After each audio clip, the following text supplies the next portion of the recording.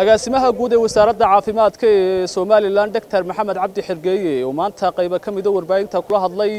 xarunta guud ee ay wasaaraddu ku leedahay magaalada hargeysa waxa uu tilmaamay. In kiisaskii hore ee cudurka koronafirus ee laga helay deegaanada somalilan ay afar iyo labaatankii saacadood ee u dambeeyey ay ku soo kordheen lix kiiso cusub. Lixdani kiis ayuu agaasimuhu sheegay in tiradii hore ee cudurkani uu haleelay deegaanada somalilan ay ka dhigayso afar iyo konton kiis waxaana uu sheegay inaanay jirin wax dhimashoa waxaa maanta aan doonayaa inaan bulshada la wadaago in xaaladaha cusub ee afar iyo labaatankii saacadood ee u dambeeyey ku soo biiray xaaladihii hore ay yihiin lix xaaladood oo lixdaa xaaladood afar ka mid ihi ay rag yihiin halka laba ka mid ihina ay dumar yihiin. Lixda xaaladood meelaha laga kala helay waxa weeyaan afar xaaladood oo magaalada hargeysa ah iyo laba xaaladood oo magaalada burco ah xagga marka la eego dadkaasi jinsiyad ahaan dadka ay ka soo jeedaan shan xaaladood waxay ka soo jeedaan somalilan halka uu qof ka mid ihii ka soo jeedo waddanka bangaladesh qofkaasina waa waxa uu joogaa magaalada hargeysa ee markaaynu ka hadlayno xagga da-da shantaa xaaladood ee lixdaa xaaladood ee soo kordhay laba xaaladood oo ka mida da-doodu waxay u dhaxaysaa labaatan ilaa soddon jir. Halka afarta xaaladoode kale da-doodu ay u dhaxayso afartan jir ilaa konton jir. Markaa afar xaaladood waa da-da u dhaxaysa afartan ilaa konton halka laba xaaladoodna ay u dhaxayso da-doodu labaatan ilaa soddon jir sidaa daraaddeed xaaladaha guud ee waddanka jamhuuriyadda somalilan waxa ay marayaan afar iyo konton xaaladood oo laga helay xanuunka muddadii ay hawsha waday wasaaradda horumarinta caafimaadku. Ee marka la eego dadka ka bogsaday amba xanuunkaa ka ladnaaday waxa ay marayaan toddoba xaaladood oo la hubiyey inay xanuunkii ka ladnaadeen ama ay ka bogsadeen oo shaybaadhka lagu hubiyey.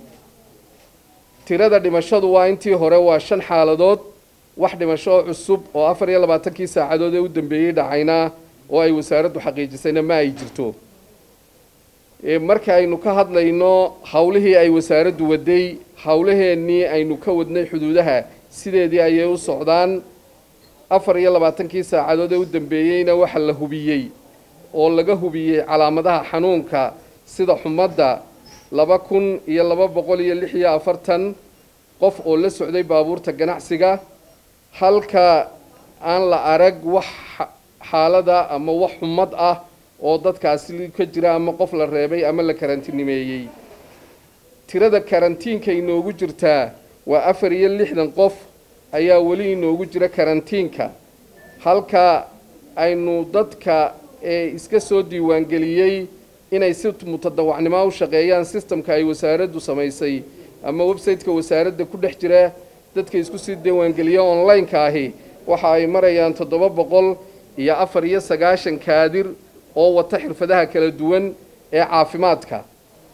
Waxaa isaguna si wanaagsan u shaqaynaya cool centerkii iyada oo saddexda shiftiba ay shaqaynayaan afar iyo labaatankii saacadood ee u dambeeyeyna waxa ay qaabileen dad dhan saddex iyo toban kun siddeed boqol iyo siddeed iyo konton cod ama kool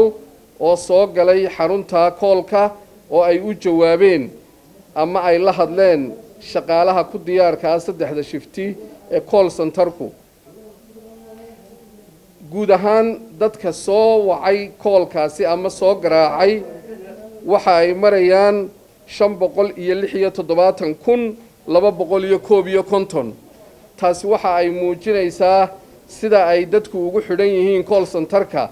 ee muddadii ilaa abril bartamaheegii aynu bilownay. Ilaa iminka dad ka badan nus milyuun qof